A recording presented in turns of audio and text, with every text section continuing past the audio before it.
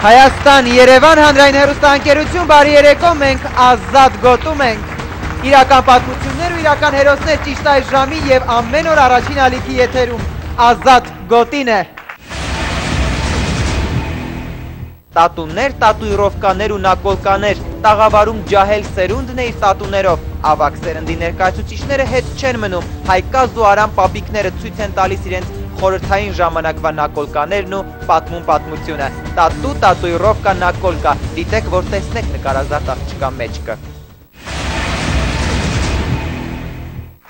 Նորաձևություն, թե անհատականության ընդգծում, կայսրերի ու թակավորների արտոնություն, թե հանցագործներին տարբերելու միջոց։ Այսօր ազատգոտում մենք խոսում ենք տատունների, տատուիրովկաների և առասարակ նակոլկաների մասին։ Եվ տատուն մարմինը վնասելու միջոցով հատուկ ներքի ներարկումն է մաշկի վրա։ Եվ ոմանց համար տհաճ, բայց ոմանց համար էլ սովորական և հետաքրքիր գործընթաց։ Այս սովորաբար տատուն լուրջ քննարկումների տեղիք է տալիս, այս մասին շատ խոսել են եւ այսօր ազատգոտու թեման տատուն է։ Մեր առաջին հյուրերի համար տատուները երբեմն արվեստի նմուշներ են համարվում եւ տատուի Հայաստանի ամենահայտնի վարպետներից մեկին ենք, երկուսին ենք հravirում տաղավար, Գագիկին ու Լիդիային այսօր նրանք ազատ գոտու տաղավարում են։ Բարի երեկո, իդեպ հերուստադիտողներին տեղեկացնենք նրանք ովքեր չգիտեն, նրանք ամուսիններ են, երկուսն էլ տատու են անում։ Մարդուկին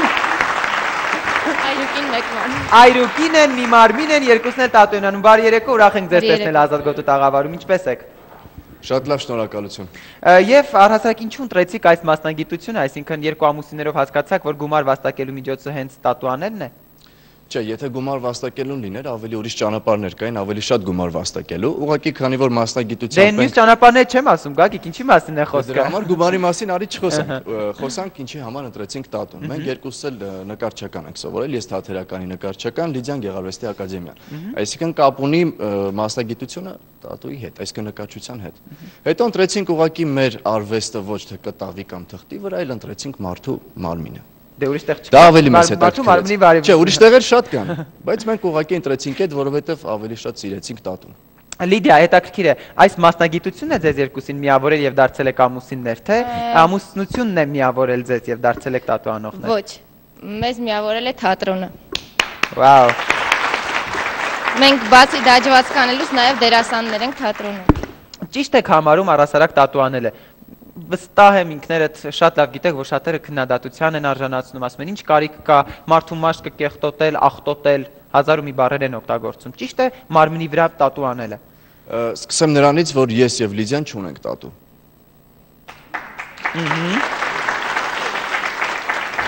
Ու Կոշկակարն էլ կոշիկ չունի, Գագիկ։ Այո, ռեմոնտանողի տունն էլ կիսատ է ռեմոնտը։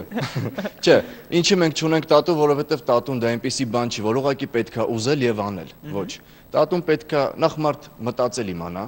կարողանա մտածել ու մտածելով հասկանալ գալ նրան, թե ինչու համար հենց այդ տատուն, ինչ ինչ նկար։ Մի խոսքով պետքա բավականին խելացի լինել եւ բացի խելացին պետքա գալ ուղակի տատուին։ Մենք ոչ թե խելացի չենք կամ դեռ չենք եկել, ուղակի երևի ժամանակը չի սենց ու ավելի շատ սիրում ենք կատարել աշխատանքը, այլ ոչ թե կրել, որովհետև քանի որ մենք մասնագիտությամբ լինելով նկարիչ ու հենց տատուի մասնագետներ, բավականին հաճախ մենք նույն բանից հոգնում ենք։ Այսինքն նույն նկարված նկարից մենք հաջորդ օրը արդեն հաճույք չենք ստանում։ Իսկ երբ արդեն մաշկի վրա նկարում են եւ արդեն մարդն է հոգնում այդ նկարից ինչ անի, եթե այդ տատուն մշտական է։ Դե մինչև այդ պետք է լավ մտածի, ինքը հոգնող մարդ է եւ արդյոք այդ նկարից ինքը խորհուրդներ տալիս եք, այսինքն ասում եք, որ գուցե Բնականաբար խորհուրդները ավելի երկար է տևում կարող եմ ասել, քան թե ուղղակի աշխատանքը։ Տոկոսայինով ասեմ 40% մարդկանց ես եւ Լիդիան մերժում ենք որովհետև կամ նրանց դեռ տարիքը չի կամ չեն ձևավորվել այնքան, որ իրենք հասկանան, որ դա մշտական է, պետք է կրել իրենց։ Իսկ մաշկին վնաս չի տատու անելը։ Եթե օգտագործում ես ստերիլ ամեն ինչը եւ օգտագործում ես բնական նյութեր, մաշկին ներարկվող, դա վնաս չի։ Ուղղակի քերծվածք է, որը լավանում է եւ վերականգնվում է մաշկը։ Շատ լավ, շնորհակալություն եւ այժմ տաղավար ենք հravirում մեր այսօրվա հյուրին, մաշկաբանին, իդեպ որից կպարզենք արդյոք դա ինչ վնասակարություններ կարող է ունենալ առհասարակ մաշկի հետ կապված ինչ վնասակարություններ կարող ունենալ։ Սիրով հravirում ենք տաղավար։ Բարի երեկո, պարոն Փարսուղյան, ուրախ ենք ձեզ տեսնել Ազատ գոտու տաղավարում։ Այսօր խոսում ենք տատուների մասին։ Տատուն ինչ վնասակարություն կարող է ունենալ մաշկի վրա։ Ну, նախ սկսեմ նրանից, որ այն անձնավորությունները կոնկրետ հիմա այս գեղեցիկ զույգը, որ զբաղվում է նկարելով մաշկի վրա, որտեվ տատու բառը, եթե թարգմանում ենք, նշանակում է նկար։ Ինչ պայմաններում են նրանք դա անում, որտեվ մեծ նշանակություն ունի սանիտարահիգիենիկ պայմանները եւ այն գործիքները, որոնք նրանք անում են, ճիշտ ախտահանվում են թե ոչ, դա քիչ հետո կասեմ, թե ինչի համար եմ նշում։ Ու ընդհանրապես երբ մոտենանք ընդհանուր առմամբ տատուն ինչ վնասներ կարող է հասցնի ոչ միայն մաշկին, այլ նաև օրգանիզմին մարդու, ես կնշեմ հետևյալը։ Քանի որ ներք ենք, ներք է ներարկվում մաշկի մեջ, բջջանքի մեջ մաշկի, հատկապես կարմիր ներք, երբ ներարկվում է, կարող են առաջանալ ալերգիկ ռեակցիաներ եւ տեղային եւ ընդհանուր։ Կարող է, եթե ոչ ստերիլ պայմաններում առնում, տվյալ հատվածում կարող է լինել մաշկի երկրորդային ինֆեկցիա, այսինքն բիոդերմյաներ Ներողություն դա այն դեպքում, երբ հիգիենայի պահպան Երբ հիգիենան չի պահպանում։ Եվ նաև Վերջի վերջո այն այն անպայման մենք հարցնում ենք մարդը ալերգիկ է թե ոչ։ Իսկ գուցե նա չգիտի, որ ալերգիկ է։ Հնարավոր է որ չգիտի։ Դե դրա համար ուրեմն թող գնա ստուգվի նոր չափահաս մարդիկ են գալիս պարտադիր եւ եթե այդ հարցը տալիս են, եթե անգամ չգիտի, գոնե ինչ որ կասկածներ պետք է ունենա ու ստուգի։ Այ ինչ որ կերպ դա կարտահայտվի եթե տատուի ձևով դա կարտահայտվի տատուից հետո մինչև այդ ուրիշ քերծվածքի կամ ինչ որ բանի միջոցով կարտահայտվի շատ լավ դե մենք այս մասին խոսենք այժմ տաղավար եմ հրավիրում մեր մյուս հյուրերին ովքեր նույնպես տատուի մասնագետներ են Աննա Կարել եւ Սիրո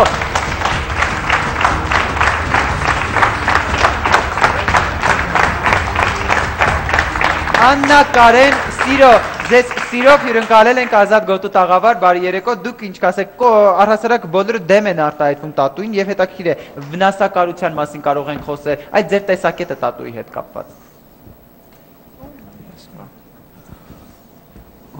Որպես վնասակար, ինձ թվում է բժիշկը ավելի ճիշտ ինքը կարտահայտի զուտ բժշկական տեսանկյունով, իսկ վնասակար ես դեռևս ոչ մի անգամ ոչ մի ինչ որ վատ անախորժ դեպքեր դարձ տարվա ընթացքում երևի չեմ նկատել կարող է հենց զուտ տատու կրող մարդը վատ խնամի տատուն դա դառնա վնասակար իսկ ընթացքը անելու ժամանակը process-ը ոնց է անում նորմալ մասնագետը որը որ տարիների փորձ ունի, ոչ մի վնասակար ազդեցություն մաշկի վրա չի կրում։ Շատ լավ, դուք ինչ կասեք։ Բացի այդ ներկերը իրանք բնական նյութերից են պատրաստված, իսկ մաշկը վնասելու համար ինքը կապ ունի խորությունը, то есть եթե խորությունը պահպանել, ինձ թվում է վնաս չի։ Դուք տատու ունեք ձեզ վրա։ Այո։ Որ հատվածում։ Ձերքին։ Ցույց կտաք։ Ոչ։ Ինչու։ Եսի ինչա որ ցույց չի տալիս ուրեմն, հա, ինչ որ տարօրինակ բան կա։ Դուք տատու ունեք։ Այո։ Որ հատվածում է։ Ոտքիս։ Ոտքի։ Լավ, շատ լավ։ Մինչև մենք տատուների հետ խոսենք եւ նաեւ մաշկաբանի հետ կզրուցենք, քանի որ ժամանակը շատ սուղ է լինելու, ես հիմա սիրով ուզում եմ տաղավար հրավիրել Հասմիկ Մուրադյանին, ով մեր աչքի առաջ կնկարազարդի հայ գեղեցկուհու մեջքը, բայց ոչ թե տատույով, այլ հակառակը այլ մեթոդներով եւ հիմա սիրով հրավիրում ենք ձեզ տաղավար։ Համեցեք։ Բարի երեկո, ուրախ ենք ձեզ տեսնել Ազատ գոտու տաղավարում։ Ինչպե՞ս եք։ Ինչ եք հիմա անելու։ Մի փոքր body art, այսինքն ստուդիայի հնարավորությունները չեն թույլ տալիս, որ ավելի ծավալվենք այդ թեմայի շուրջ, մի փոքր body art-ից հատված մեջքի հիմա նկարելու եք։ Այո։ Լավ, շնորհակալություն։ Դուք սկսեք ձեր նկարազարդումը, իսկ մենք արդեն կացնենք առաջ։ Ծափարենք աղջնակին եւ իր մեջքին։ Խնդրեմ բացախոսը տվեք, որպեսզի մենք շարունակենք եւ արդեն խոսեցինք նաեւ խնդիրների մասին, որոնք կարող են առաջանալ եւ կարող եք շարունակել, էլ ինչ կարող է լինել։ Եվ էլ ինչ կարող է լինել, ասեմ, որ ամենավտանգավորը եւ բարձրը որ կարող է լինել, դա տատուի ժամանակ վիրուսային ինֆեկցիա փոխանցելն է, որը նույնպես կապված է նույն խնդրի հետ, ինչ որ սկզբից նշեցի։ Տատուի հետևանքով կարող է վարակ տարածվել ինչպես հեպատիտ B կամ C, այնպես էլ ձիահի, Ну, հույսով եմ գիտեք ձյան որ հիվանդությունը։ Մի հատ բան ավելացնեմ էլ ես։ Մշտական չի, որ ասենք թաթուն գարա մասնակետի մոդից ասենք վնասագար լինի, ասենք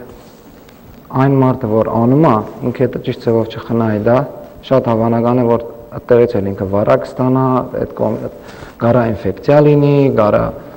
ասենք մենք բացատրում ենք ընդհանրապես, օրինակ էսի մասին եմ ասում, մենք բացատրում ենք բոլորին, որ ճիշտ ձևով է պետք խնայել դա, պետք չի իրան գեղդոտել, պետք չի իրան թրջել, պետք չի իրան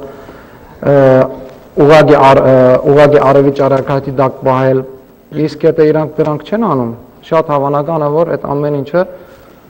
ասենք հագարակ ազգանալի է, այսինքն պետք է հիգիենա պահպանել։ Գագիկ Ես ուղղակի ուզում ավելացնեմ, որ տարիներ առաջ, մոտ մի 10 տարի առաջ դեռ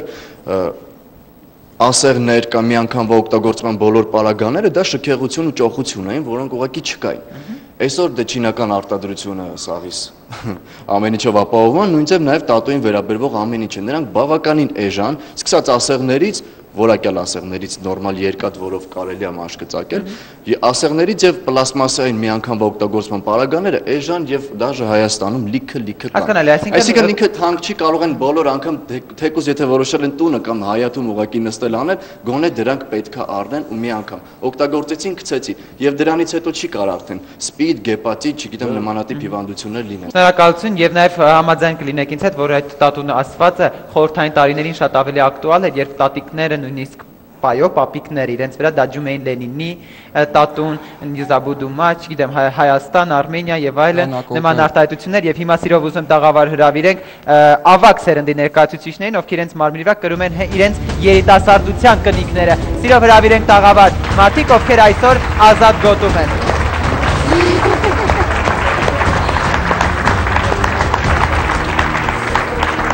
Բարի երեկո, պարոնայք։ Ուրախ ենք ձեզ տեսնել Ազատ գոտու տաղավարում։ Այ հետաքրքիր ցույց կտակ ձեր տատուն եւ կասեք թե ինչ է նշանակում դա։ Ինչը։ Դուք ձեր տատուն որտեղ է ո՞ր մասում է։ Ձեր տատուիրովկան ո՞ր մասում է։ Օ։ Սա ինչ է նշանակում։ Մոդալիաս եմ։ Ես ողորմաժ կնոջս նկարն է։ Ինչպես։ Կնոջ։ Կնոջ, կնոջս նկարն է։ Ձեր կնոջ նկարը դաջել եք հենց ձեր 55 թվին եմ դաջել որ սովետական բանակում ծառայում էի։ Ստեղ էլ կա։ Վա։ Հետաքրքիր է։ Այդ հատվածում ինչ է գրված։ Արի կարտա։ Не забуду мать родную։ Не забуду мать родную, հա։ Слава։ Ինչպես։ Ее слава։ Ее слава։ Շնորհակալություն։ Ես որ ասացի տատու, երևի ձեզ համար անհասկանալի է, տատու տատուիրովկա, նակոլկաներ, հա, այդ ժամանակ այդ Նակոլկա են ասում։ Ինչպես։ ցերկից վրան էլ կա։ Նակոլկա։ Դե իսկ ձերքի վրա ինչ է արված։ Կնոջը սան ազգանն է սելի ման ազգան։ Այդ ինչքան շատ եք սիրել ձեր կնոջը։ Բա 40 տարի էր դաբրան տղաժան։ Կեցել։ 6 տարի 6 տարի սիրը արվել եմ 9 ամիս էլ նշանվել է։ Կպատմեք հետաքրքիր որտեղ արեցիք տատուն, խորթային բանակում եք ծառայում։ Հա 53 թվին գնացել եմ բանակ, 55 թվին ընդ Կիևում էի ծառայում, ընդ մը լավ տղա կար, սեցում էր, ես սեցեցի։ 55 թվին եմ սեցել։ Էն էլ ոնց եք ծեծել։ Բարիզբուն եւ փոխաբերական իմաստով։ 24 տարեկան է տղա ջան։ Իսկ փոշմանել եք երբեք։ Չէ։ Չեմ փոշմանել։ Հələ ուզում եմ շատ բան ծեծել, բայց չուզեցի։ Ինչպես։ Շատ բան է ուզում ծեծել, բայց չուզում նասրանից։ ինչ եք ուզում ծեծել։ որ Ի, Այն շատ բան կար։ Կնոջ նկարը կողքից Չէ, հետևքի։ կարող է եկեղեցի նկարեի, կարող է սուրբ նկարեի, կարսկերից մարտիկա Լենին Ստալին, Մաքս Էնգել Լենին Ստալին դոշերի նկարում։ Շատ բան կա նկարել, բայց Իսկ բայց փաստորեն դուք Լենինի, Ստալինի փոխարինեցիք ձեր կնոջով, որը շատ ավելի վառ սիրո դրսևորում ում եք, որ եցեք սարգում դուք։ Սիրում ես դրան ծեծել։ Շնորհակալություն։ Այ հետաքրքիր դուք ասեք որտեղ ունեք նակոլկա եւ Ես ինչ է ծեծել եմ այստեղ ձերքից։ Այս դաշվածքը նշանակում է, որ մեկ հացը, որ Աստված տվեց ինձ թևերով դանակով կիսեցի իմ ու կնոջ միջև։ Մեր մեջ կիսեցինք հացը, որի վրա գրած է Արամ եւ Անգին։ Արամ եւ Անգին։ Անգին, այո, Անգին իմ կնոջ անունն է, որին ես շատ եմ սիրել, միջև մել սիրում եմ։ Վայ։ Ինչ հետաքրքիր է։ Եվ մի դաշնակցն էլ այստեղ թևիս է, որ ես հավատում եմ Աստծուն։ Իմ անունն է վրա գրած է թևերի վրա, խաչն է այստեղ եւ ծննդյան օրվա թիվս։ Եվ ոնց որ հավատքի Տեր, ես տենց հավատում եմ Աստծուն։ Քանի որ Աստված ինչ որ ես կամենում եմ, Աստված տալիս է, կամ Աստված ամեն ինչ տալիս է, եւ ես հավատում եմ։ Շնորհակալություն, կեցեք դուք։ Այ հետաքրքիր է, օրինակ 21-րդ դարում երբ տատու են անում, դա սովորաբար անում են, որ ավելի սեքսուալ երբեմն Երևան չէ, որ պարապում են մկանները, հաստատում են եւ այս հատվածում ձեր ասած տատու են ծեծում, նակոլկա են ծեծում։ Այ հետաքրքիր դուք էլ այդ սեքսուալ լինելու խնդիր ունեիք այդ ժամանակ երբ Չէ, ես այդ բանակում ծառայում էի, էլի սովետական բանակում էի։ Եվ նախ դրությամբ ես սպայական կոչումով թոշակի եմ, միջև վերջել ծառայել եմ։ Դե սովետական բանակում այդ վաղտ երկու տարվա ծառայող էի։ Դե երիտասարդություն էր, սիրահարված էի, բան։ Բայց դուք ինչքան շատ եք սիրահարվել, դրանից ավելի լավ բան չկա։ Եվ այնպես Ծննդյանս ծննդյանս օրվա արդիվ տղաներով նստեցինք, մի քիչ ուրախացանք։ Մի քիչ էլ քեֆներս լավ էր, այդ բաղ արդեն այդ տատուն եղավ ձերքիս վրա։ Եվ ասացի, իմ անունը եւ կնոջս անունը։ Ձեր անունը։ Արամ։ Արամն ու Անգինը այն ժամանակ դաջեցին արդեն։ Չէ՞։ Ալո։ Արես էլ կարտը։ Այ հետաքրքիր է, որ այդքան ասում են, որ հիգիենան կարևոր է, բայց ես կարծում եմ այն ժամանակ ձեր ասած այդ մեկ անգամյա օգտագործվող ասեղները չեն եղել։ Այդ ինչպես է, որ այն ժամանակ դրանից վարակներ չեն եղել եւ այլն։ Վարակներ իհարկե եղել են։ Ուղղակի իրանք տոկոսայինով շատ քիչ են վարակները, որովհետև ամեն մարդ չի վարակված գեպատիտով կամ սպիդով։ Դրանք շատ հազվադեպ դեպքեր են, այդ հազվադեպ դեպքերի մասն էլ խոսելը ավելորդ է, բնականաբար լինում են, բայց շատ քիչ։ Շնորհակալություն եւ մաշկաբանին ենք ուզում հարցս ուղղել։ Այ հետաքրքիր է այն ժամանակ, երբ տատու են արել, երբեք եղել են որ ձեզ դիմեն ինչ որ խնդիրներով։ Երբ խորթային միությունում տատու արած մարդը դիմի ձեզ, ասի որ առողջական խնդիրներ մաշ։ Ինձ երբևիցե չեն դիմել, ճիշտ ասած, բայց իմ գոլեգաներից, երբ որ ես գալու էի թեմայի մասին գիտեի, նշեցին, որ երբեմն երկրորդային ինֆեկցիա է միացած եղել տատուին, այսինքն թարախակալվել է եւ այլն եղել են դեպքեր, բայց տենց հաճախ որ ասեմ եղել են չէ։ Շատ լավ, մենք հիմա հանդիսատեսի հանդիսականների շարքում ունենք մարդիկ, ովքեր նույնպես դարթարված են տատույով, հրավիրենք ձեզ սիրով այստեղ, բարի երեկո, համեցեք այստեղ, շիկահեր գեղեցկուհուն ծափարենք եւ ողջունենք։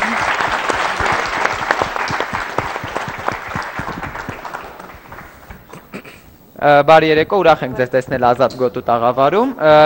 Դուք ո՞ր հատվածում ունեք տատու։ Տարբեր։ Վայ։ Այս հատվածում ունեմ, այս հատվածում ունեմ եւ ստեղ։ Ցույց կտաք այդ հետևինը։ Հետևինը չգիտեմ, մակերևա թե չէ։ Պապիկ օգնում է խնամքով գեղեցիկ ափշնակին։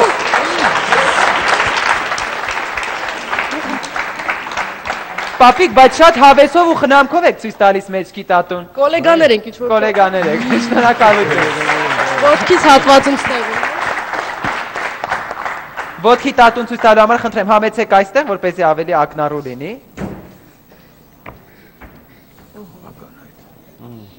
Սա ինչ է նշանակում։ Ծաղիկ, ի՞նչ ծաղիկ է։ Իմ ու իմ տատուիրովշիկի ֆանտազիայով ծաղիկ։ Մեր տատուները ընդհանրապես տենց են արվել, ոչ մի կոնկրետ ինչ որ ես նկար չեմ տեսել ասել։ Դες մենք ոնց որ միասին համագործակցել ենք։ Ու այս հատվածում PCO-ից նկարն է։ Շնորհակալություն։ Դեր անունը ինչ է։ Ժենյա։ Ժենյա, օրինակ սովորաբար որ ասում են, չէ, նշանների ընտրության հարցում պետք է շատ սթափ լինել եւ զգոլ լինել։ Չեք վախենում, որ նշանների հարցում շփոթեք եւ այնպիսի նշան օրինակ ամրնեք, որ լրիվ ուրիշ բան նշանակեք։ Չէ։ Վայ։ Ընդհանրապես ոչ, օրինակ ինչ նշան կարա լինի։ Այդ երևի կարա կապ ունենա ինչ որ բանտի, հա, այտենց ինչ որ բաների հետ։ Դժվար է։ Հետո կասեն նստած հելած աղջիկ է, այսինքն Ոչ, թող ասեն։ Ով որ անկիրթ է այդ հարցում, թող ասի։ Կեցե Ժենյան, ծափարենք նրա։ Դուք դեռ մնացեք եւ խնդրում եմ դուք քանի որ տատուանողներ եք, նշանների ընտրության հարցում դա շատ կարեւոր փուլ է, չէ՞, այսինքն խորհուրդներ տալ։ Դե կոնկրետ ինչ որ նշաններ, եթե մարդիկ գալիս ուզում են, ընդհանուր 99%-ը ես sense կարող եմ ասել, մարդիկ արդեն կողմնորոշված գալիս են։ Եթե չեն կողմնորոշում, այդ ուղությունը արդեն մենք սխալ նշան ընտրեն, որ լրիվ ուրիշ բան է նշանակում։ Դե մինիմում մի կես ժամ խոսակցություն է գնում, որը Հետաքրքիր անպայման դեպքեր օրինակ գատիկ որ ասենք եկել են դուք իրան բացատրել եք որ Քո հաջախորդի հետ խոսած եւ անպայման իմանաս իր Թեկուզ երկու բառով ներքին աշխարհը, մտահղացումը, ինչի համար է եկել, ինչ է ուզում, ինչ է ուզում խորհրդանշի, ըստ դրա արդեն Հասկանալի է, այսինքն խորհրդակցում եք։ ինքդ ես։ Հասկանալի է, գագիկ հետաքրքիր դեպքեր եղել են, որ կան այնպիսի մի նշան ուզեն, որ դուք պարզապես բացատրեք, որ այս նշանը իրավունք չունեք անեք։ Եկավ ասաց աստղեր էր ուզում այս մասում, որը գաղութային կյանքում դա ունի լուրջ իմաստ եւ ամեն մարդ չի կարող դա գրել ուղակի։ Դա պետք է իր անցած կյանքը համապատասխանի մինչեւ գալ այդ աստղերի։ Նա ուղակի տարիքը չէր համապատասխանում եւ ինձ թվում է նաեւ մնացած բաները եկավ ու ուզեց բնականաբար մերժեցինք որովհետև դա նրա համար լուրջ խնդրեմ էր լինելու հետագայում նույնպես շարեցինք շատ լավ ես վերջերս խոսում եմ մեր հաջորդ հյուրի ծնողների հետ էի խոսում շատ պատահական այսպես եւ միշտ հետաքրքիր նրա մայրը ասում էր որ երկար ժամանակ խոստումը պահեց տատու չարեց մեկ էլ հանկարծ մի օր տատու էր արել չնայած որ մեծ հաշվով նրա դուրը եկել էր ամուր խնդիրը հենց այդ էր տաղավար եմ ուզում հրավիրել ռեպեր Դավիթին ռեպեր Դավո ազատ գոտու տաղավարում Բարի երեկո, ուրախ ենք ձեզ տեսնել Ազատ գոտու տաղավարում, այդակրքիր է։ Ծնողները սկզբում դեմ են եղել, կպատմեք, հետո ինչպես ադապտացվեցին, ինչպես ընդունեցին, որ Դավիթը այո իր վրա կարող է եւ ունենալ տատու։ Ինձ թվում է իմ ծնողները այդ խնդիրը միշտ էլ ունենալու են տատուների հետ կապված, որ պետք չի անել կամ չեն ընդունում, բայց մի բան ասեմ, ես խնդիր ունեմ Դավոյի ծնողների հետ, ոչ թե Դավոն, որովհետեւ երբ որ Դավոյի վրա ինչ որ բան ավելանում, զանգը գալիս է ինձ։ Եվ Դավիթ, որ հատվածում արեցիք եւ ինչ տատու արեցիք։ Ես մի քանի տատու ունեմ, երևի թե միակ հարմարը ցույց տալու համար հիմա Մյուսները շատ հարմար տեղում են։ Դե մի քիչ հարմար չի լինի հանվելու, սա է, որ ինքը հավերժության նշան է ու իմ ընտանիքի անդամների անունների առաջի տառերը ու մնացածը մոտավոր ինչ որ բաներ։ Շատ լավ եւ մեր ավակ սերնդի ներկայացուցիչներն եմ ուզում դիմել։ Դուք ինչ խորհուրդ կտաք, չնայած որ տատու արել եք, ինչ խորհուրդ կտաք։ Երիտասարդները ամեն դեպքում անեն տատու, թե չանեն։ Ձեր մեծավարի խոսքը։ Պետք չի։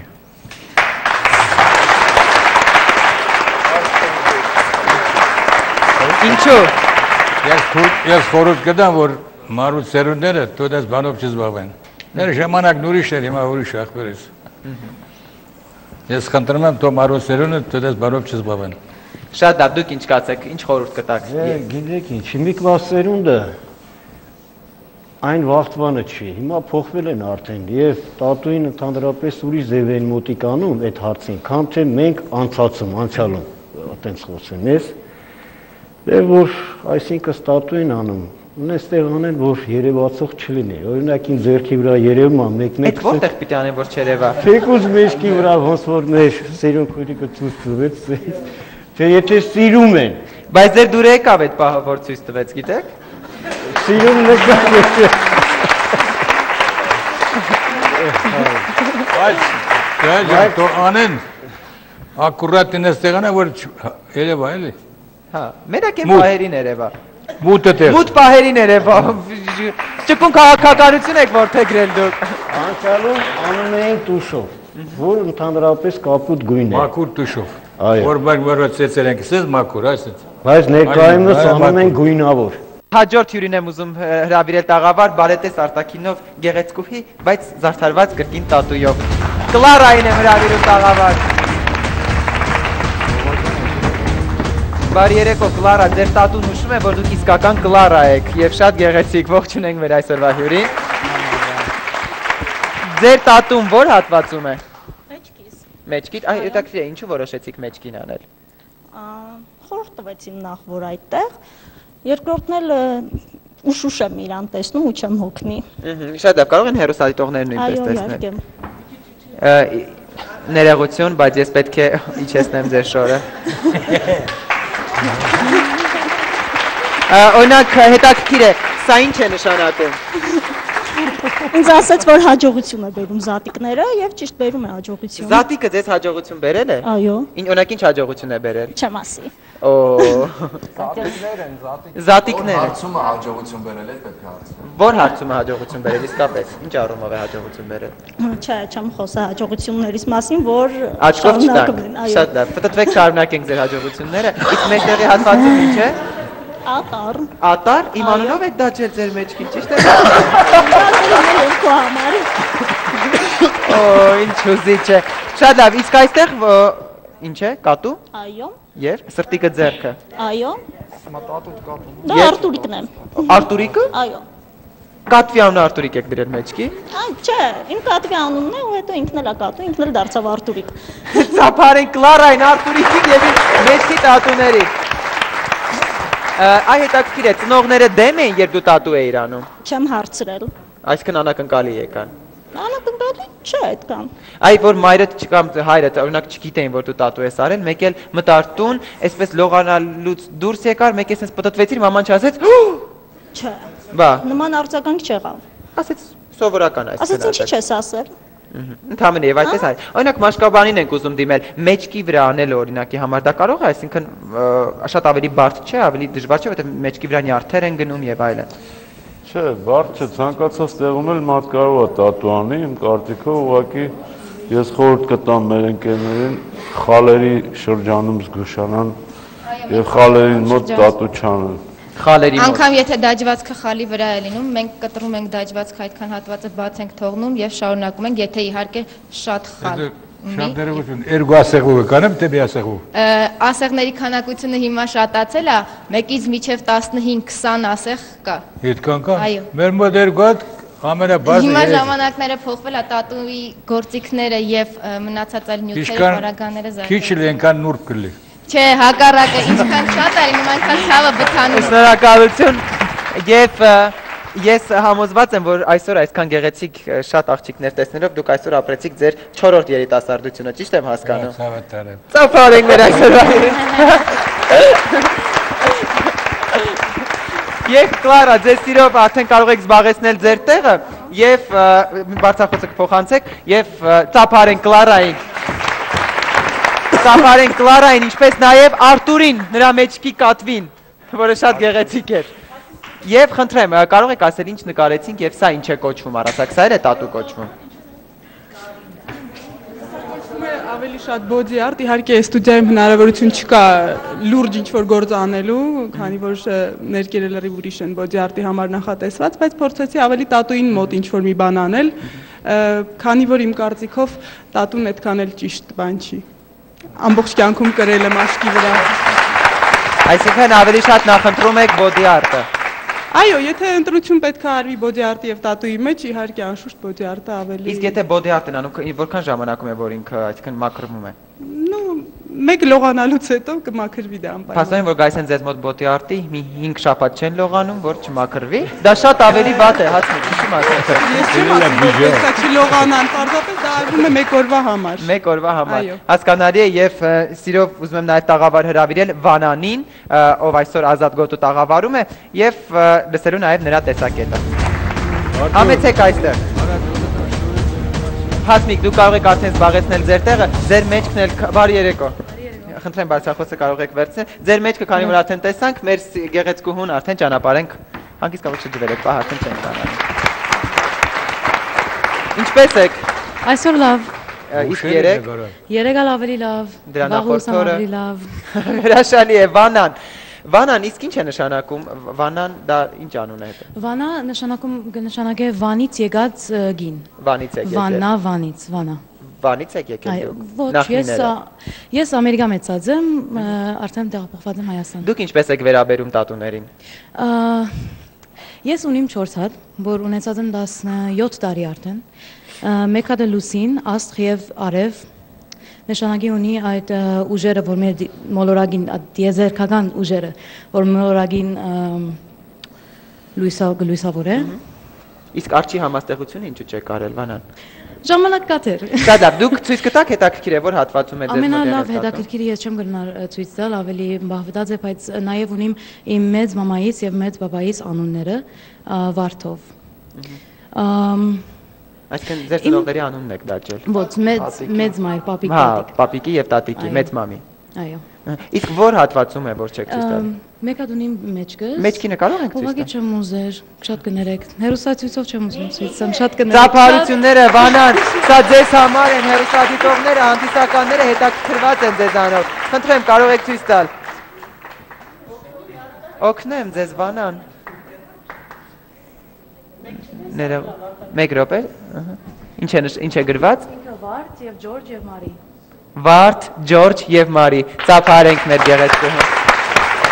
Շնորհակալություն, դուք նույնպես կարող եք զբաղեցնել ձեր տեղը եւ հետաքրքիր է, այսպես արդեն ամփոփելով, հա, քանի որ ժամանակը շատ ցուղ է։ Դավիթ, դուք հետաքրքիր է, ինչ եք կարծում, ձեր երեխաներին խորհուրդ կտաք, որպեսզի նրանք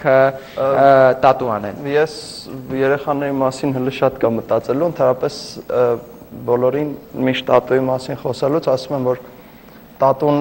նախ շատ երկար պետք է մտածել անելուց առաջ ու իմ կարծիքով պետք է տատուն ուղակի սիրունություն չլինի, որ ժամանակի ընթացքում կյանքում չօգնացնի ու իմաստ ունենա։ Շնորհակալություն երկու կողմերին տիկնակ եւ պարոնայք եւ արդեն վերջում սիրով ուզում եմ տաղավար հրավիրել Տեր Թովմային, որովհետեւ որքան էլ խոսում ենք տատուների մասին եւ որքան էլ խոսում են նակորկաների մասին, բայց հայ առաքելական եկեղեցին մարմնի վրա դաջելը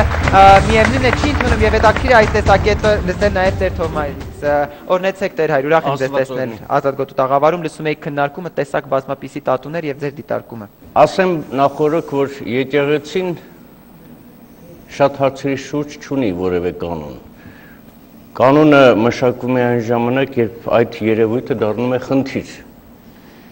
Տատուն եւ նմանատիպ ուրիշ, ասենք, երև երևույթներ, որ նոր են մտել մեր աշխարհ, ասենք կլոնացումը, սուրոգատ մայրությունը եւ նման ուրիշ երևույթներ դեռևս չունեն իրենց կանոնը։ Ես խոսեմ ինչպես քրիստոնյա եւ հոգեվորական իմ կարծիքը հայտնելով։ Դարերի ընթացքում եղել է իհարկե ժամանակ, օրինակ կաթոլիկ եկեղեցին տատուն ընդունել է նորմալ է համարել Պոլինեզիայում քրիստոնեություն տարածելու ժամանակ, Բրազիլիայում, Հարավային Ամերիկայում ընդհանրապես, փոխելով այն նկարները, որ կային մարդկանց մարմինների վրա, ասենք Քրիստոսի պատկերով, խաչով եւ այլն համարելով որ ավելի լավ է այդ պատկերները ունենային իրենք այդ ժողովուրդը եւ հավատային դրան դրանով ասենք անցում անեին իրենց ֆետիշներից դեպի քրիստոնեություն քան թե ընդհանրապես մերժեին այդ երևույթը ես փորձեմ դիտարկել տատուն երկու տեսանկյունից նախ այն եթե այն ֆետիշ է իրենից ներկայացնում այսինքն դրա մեջ կա հավատամք թալիսման, համայիլ եւ այլն։ Ինձ համար օրինակ ընդունելի է այս մարդու մարմնի դաջվածքը, որովհետեւ այն ժամանակ մանավանդ անաստվածության տարիներին իրեն ինչ որ բան պետք էր հավատալու համար հաստատվելու եւ դիմանալու եւ դա ես համարում եմ որ նորմալ երևույթ է որ ինքը արել է բայց ժամանակները փոխվել են Եվ հիմա տատուն, եթե ասենք ընդունենք, եթե ինքը ներկայացնի ֆետիշ, որևէ աստվածություն, եւ այդ մասին իհարկե պետք է նկարիչները առաջին հերթին մոտենա, ը, մտածեն, որովհետեւ իրենց պատասխանատվությունը մեծ է եւ Աստծո առաջ։ Նրանց պատասխանատվությունն ավելի մեծ է, քան այն մարդը, որը գալիս է իրենց մոտ այդ տատուն ընդունելու։ Եթե եթե այդ ֆետ իրենից ներկայացնում է ֆետիշ, դա շատ վտանգավոր է, լավ բան չի։ Իսկ եթե ֆետիշ չի, սովորական ինչ որ պատկեր է, նկարչություն, ասենք գեղեցկություն, էլի պետք է նայել։ Եթե օրինակ տատուներ կա, որ դեմքին են անում, դա արդեն անընդունելի է։ Տատուներ կա, որ մարմնին են անում։ Լավ, ընդունենք, թե մարմնի վրա արված տատու է։ Աղջիկ, որը պետք է ամուսնանա, միթե նա խնդիր չի ունենա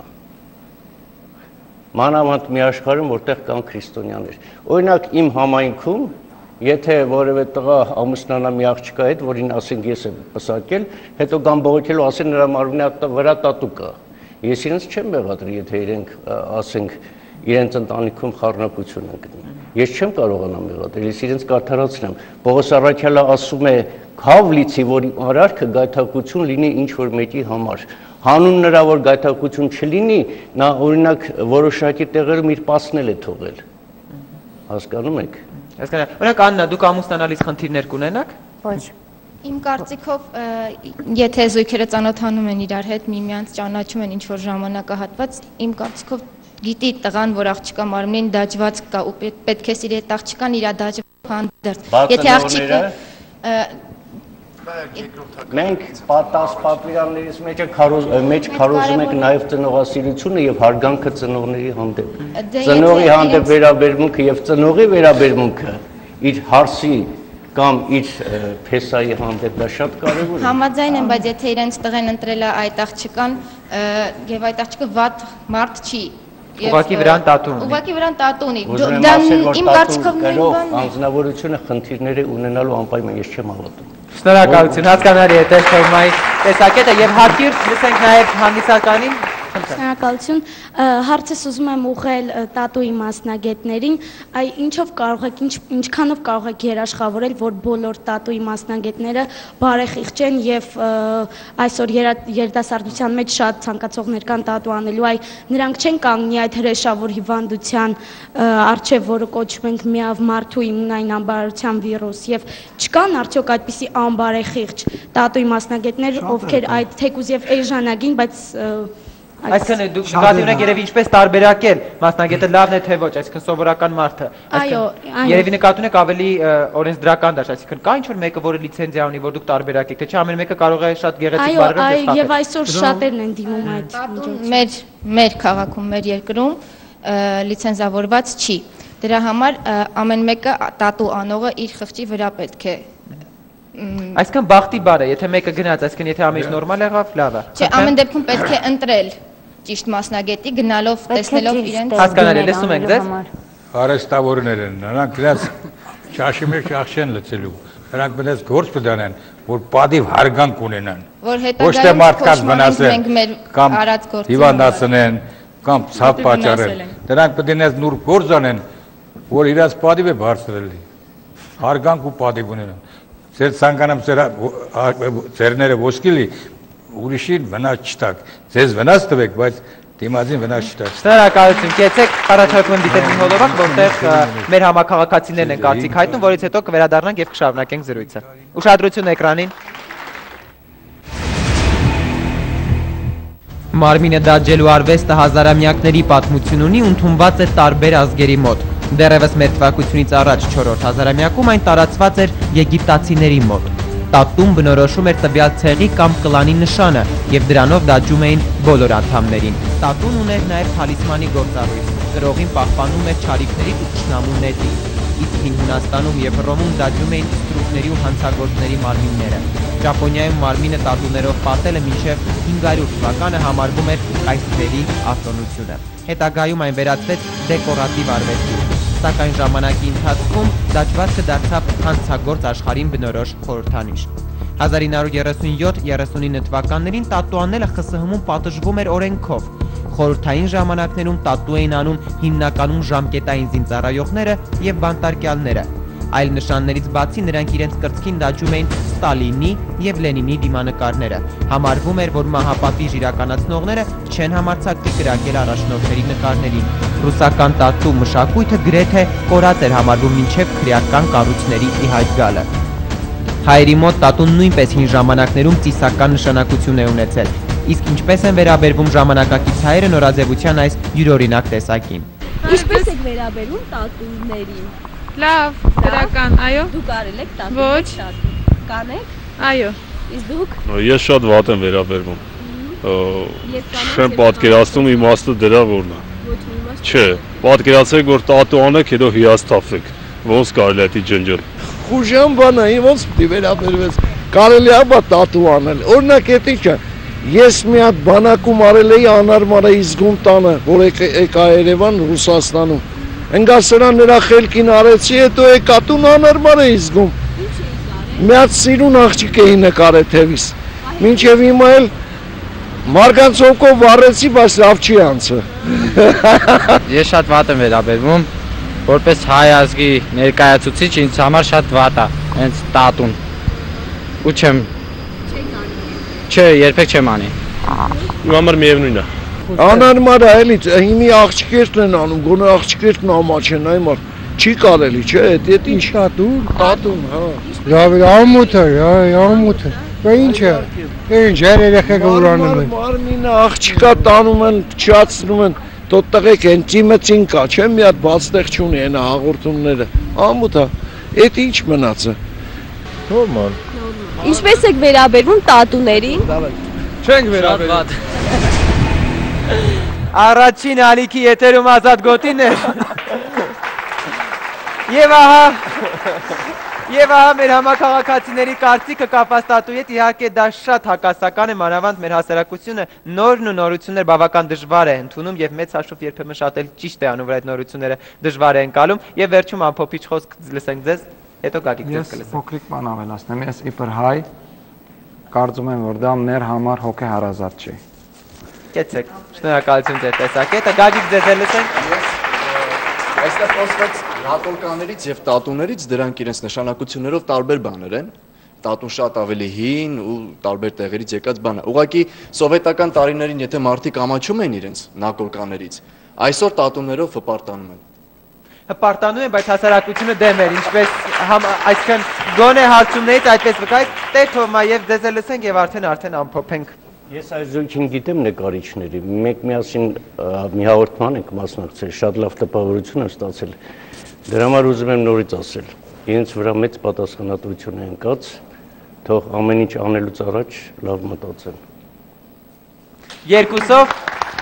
խորհրդային աշակերտի պես, այո, Դավիթ ձեզ էլ լսենք եւ արդեն ամփոփենք։ Ես ես ուղղակի ուզում եի մի բան ասեի, ճանաչելով Գագիկին ու Լիդիային,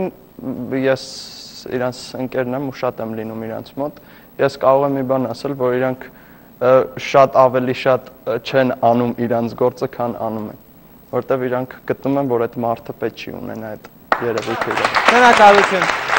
Տիկնակ եւ պարոնեք, շնորհակալություն երկու կողմերին էր, որ մասնակցեցիք ազատ գոտուն եւ Ջոն Քենեդին իր տատուն մաքրել է միայն կնոջ երկարատև հորդորներից ու բանակցություններից հետո Ջոն Քենեդին։ Իդեպ նրա ուսին դաջված էր կրիա, որը նշանակում էր, որ դա դրա տերը հատել է հասարակածը։ Ապրեք այնպես ինչպես ուզում եք, բայց երբեք մի հատեք հասարակածը, մնացեք ճիշտ ազատ գոտում։ Առողջ եղեք։